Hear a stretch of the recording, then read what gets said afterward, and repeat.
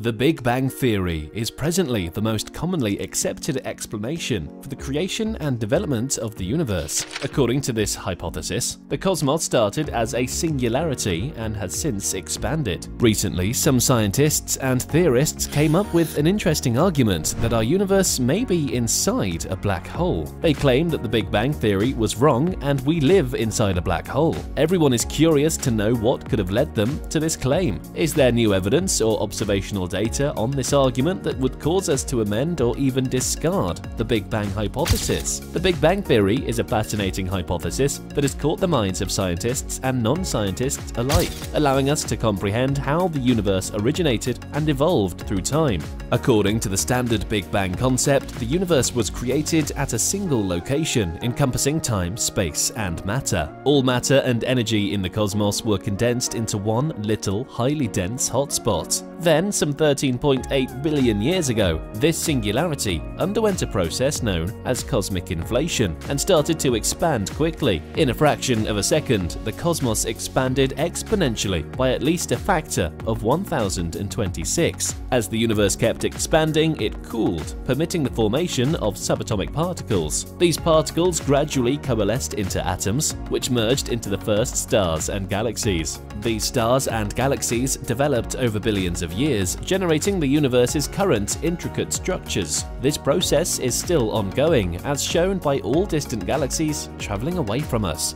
Furthermore, the farther distant a galaxy is, the quicker it is traveling away from us. This is compatible with the universe hypothesis, in which space is expanding. The greater the distance between two points, the quicker they may move apart. This is often represented as dots on a balloon. When the balloon is inflated, the drops are separate, which shows they are further away and move apart more quickly. The cosmic microwave background radiation is crucial evidence supporting the Big Bang Theory. While the observed abundance of light elements in the cosmos such as hydrogen and helium is another vital piece of evidence, the theory has effectively described many of our observations of the universe. Still, it needs to address several riddles. For instance, the theory does not explain the nature of dark matter and dark energy, which comprise the bulk of the universe's mass energy. In addition, the theory does not explain why the cosmos seems so finely tuned for life, with the precise physical constants and circumstances necessary for developing complex structures such as galaxies and stars. Could this be why these scientists and theorists claim the Big Bang Theory was wrong? Before we look into that, let's give you a quick rundown of the black holes. A black hole is an area of space with gravity so intense that nothing, not even light, can escape its attraction. It's a point of infinite density and zero volume at which the general physical principles break down. The singularity is formed when a giant star runs out of fuel and performs a supernova explosion. It leaves behind a remnant so dense and massive that it collapses,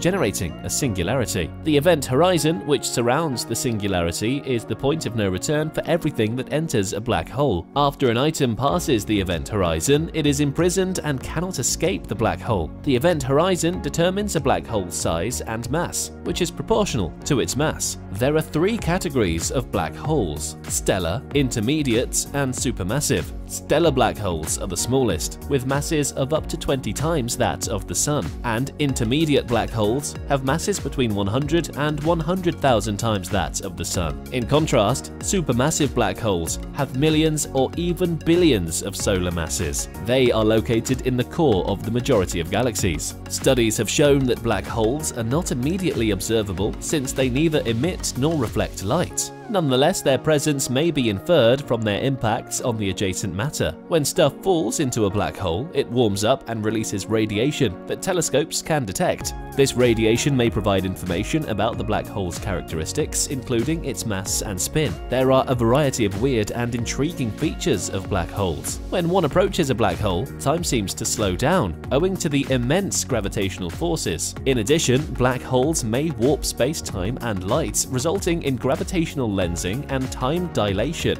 Although black holes may seem exotic science fictional entities, they are crucial to our knowledge of the cosmos. They play an essential part in the development of galaxies and their severe circumstances offer a unique testing ground for our understanding of fundamental physics. Scientists are optimistic that as they continue to research black holes and their characteristics, we will unearth even more intriguing insights about the nature of the world around us. We anticipate more findings from them and hope for a better better understanding of the cosmos. However, how does this prove the Big Bang Theory is wrong and explain that we all live in a black hole? A few years ago, scientists found what they thought to be an ultramassive black hole weighing around 40 billion solar masses. That is, its mass is 40 billion times that of the Sun. This monstrous black hole is located 700 million light years from Earth and is one of the most massive ever detected. This discovery proves it may be possible that black holes with masses of more than 100 billion solar masses exist. In principle, if scientists were to uncover one of these ultramassive black holes around the size of our solar system, there may be a stable region inside the black hole where intelligent creatures could reside eternally. A black hole known as a Reissner-Nordstrom black hole is particularly significant in this context.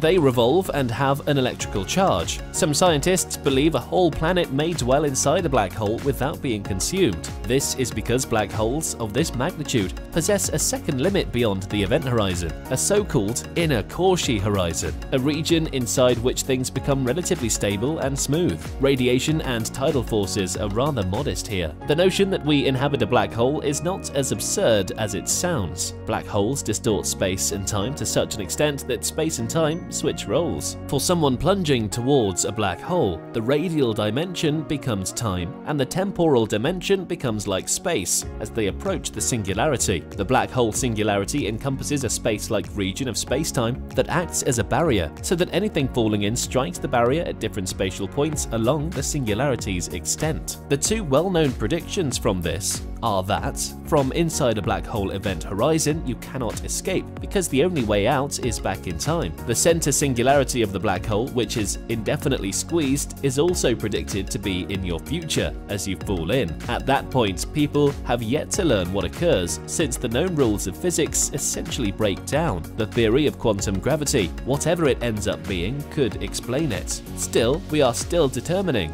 what it will be. According to the Black Hole Big Bang Theory, or BHBBT, stuff from the universe's mother universe crashes into a black hole. The singularity of this black hole is located at a single location in space relative to everyone in the universe's mother. Because of the inversion of time and space inside the daughter universe, what was formerly a singularity in space is now a singularity in time, similar to the Big Bang. This implies that all stuff dropping into the daughter universe from the mother universe will vanish from the mother universe and reappear at the first points of the daughter universe jumbled. In addition, what emerges from the Big Bang is not just the stuff at the birth of a black hole, but every matter that has ever fallen into it. This is because time near the singularity of a black hole is fundamentally perpendicular to time in the mother universe. Since time and space may be distorted, stretched, compressed, and twisted oddly, a whole universe can exist inside another. What looked to be a dead end at a black hole's core was a portal to the genesis of a new universe. The singularity is a point in space for an observer located outside of a black hole, known as the distant observer. However, the signs of the space-time metric components, r and t, are reversed for an observer inside the event horizon. Now, from the perspective of a nearby observer, the singularity exists in the future. At least for some singularities, the